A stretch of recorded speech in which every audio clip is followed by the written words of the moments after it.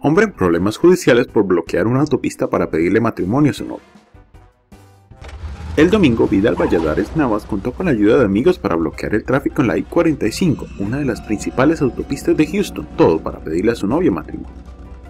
Los conductores estaban furiosos. Algunos habían asumido un horrible accidente. Incluso, un vehículo, según los informes, llevó a una mujer embarazada que estaba a punto de dar a luz.